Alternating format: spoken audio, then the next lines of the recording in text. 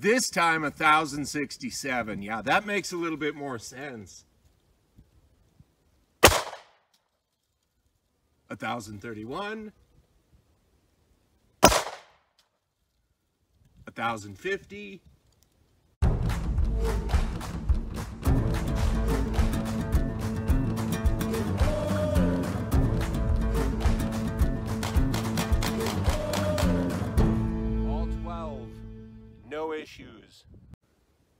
Greetings, discreet defenders. Today we're going to test out some more relatively inexpensive 9mm hollow points, 115 grain standard pressure, as part of our series on 115 grain standard pressure fired from a short barrel. In this case, it's Ammo Incorporated, and there is the data.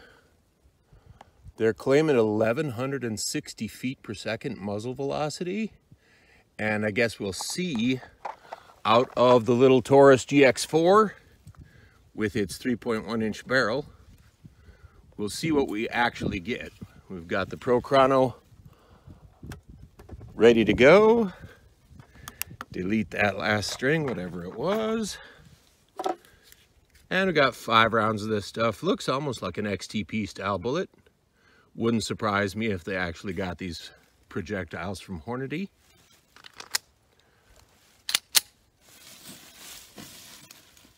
And Let's see how they do out of the short barrel. 2043. Okay. Backing up a couple of feet.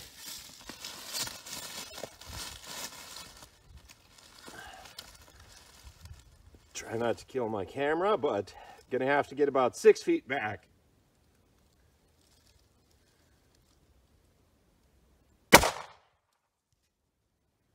2014. Well, I can tell by the recoil they're not going 2014. Uh, we might have a little bit of problem with the uh, with the sunlight today.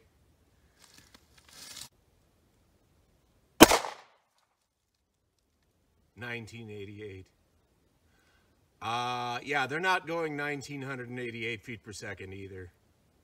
I don't know what we're measuring there. I'm just gonna do these last two and see if we can get anything.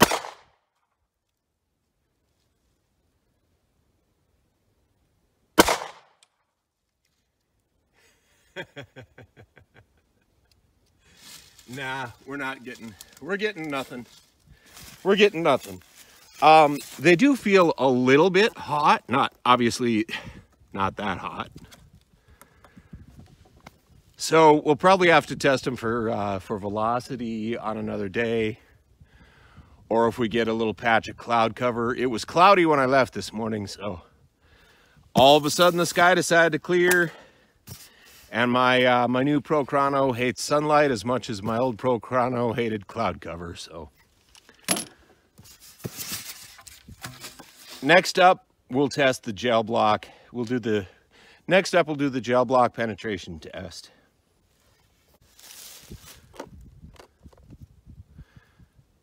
Okay, we have a nice 17 inch column of gel.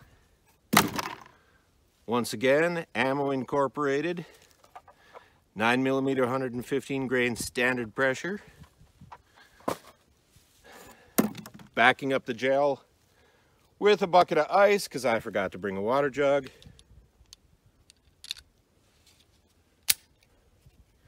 Four layers of heavy denim as per protocol.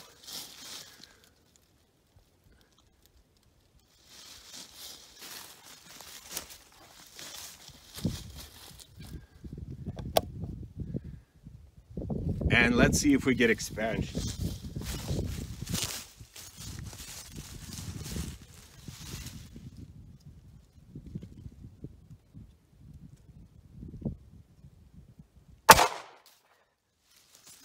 All right, yeah, yeah, we did get expansion.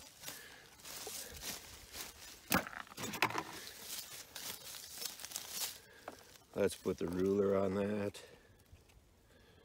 Oh, it's magnificent. I think th this is among the best.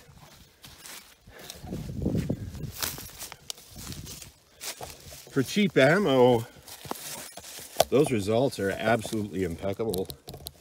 I'm going to swing it around this way so that the sunlight lights it up. Look at that expansion cavity. That's magnificent. And look at where the bullet came to rest. 14 and a half inches of penetration through that heavy denim. Wow, that's that's pretty impressive. And you can definitely tell, yeah, that's uh, that's a little bit of a smaller XTP style bullet. I don't think we're going to have any trouble with this one. Uh, th this is definitely a winner. I just hope we can get uh, some chronic chrony readings on it in the near future. All right, let's uh, let's break out the caliper and see. Yeah, that's very uh, very XTP like limited expansion on that, which explains the adequate uh, penetration depth. But let's see if we can get, uh, let's see if we can get some, uh, some caliper readings on that. Zero that out. Which is well, there's a little, there's a little projection off this side. That's probably gonna, oh, that's gonna crush. But even on that widest point, it's only 517. It's about 50% expansion. But let's take a little narrower look at it there. 47 one hundredths.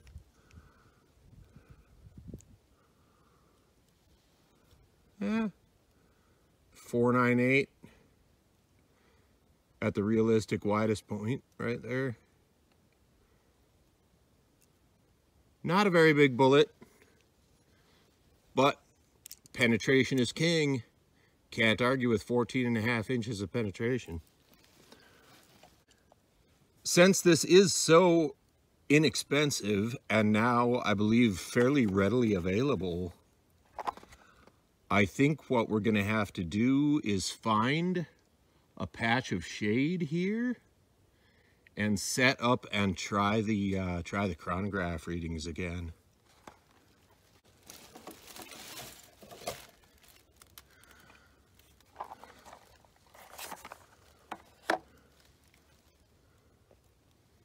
Okay, so I found an oak tree out here on the wild Dakota prairie.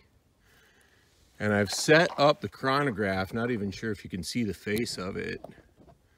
Try to increase the exposure just a bit here.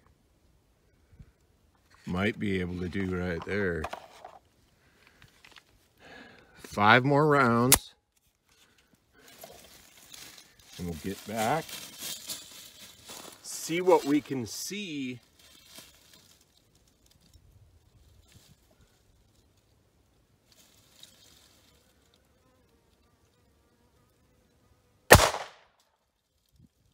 This time 1067. Yeah, that makes a little bit more sense.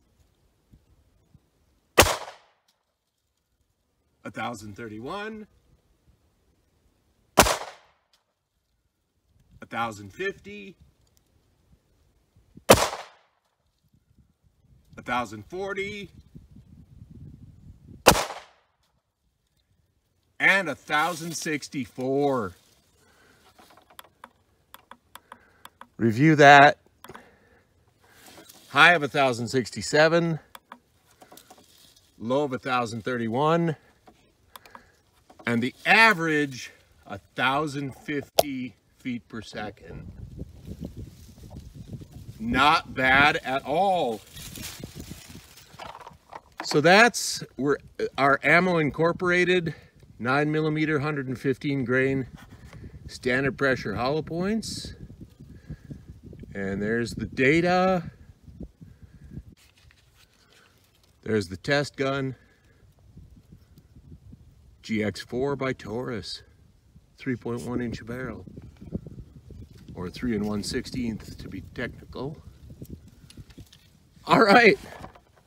So I think that is a winning brand of ammunition considering It's a very inexpensive 115 grain standard pressure 9 millimeter hollow point. Thanks, folks. This is Dave for DDR. Have a great week.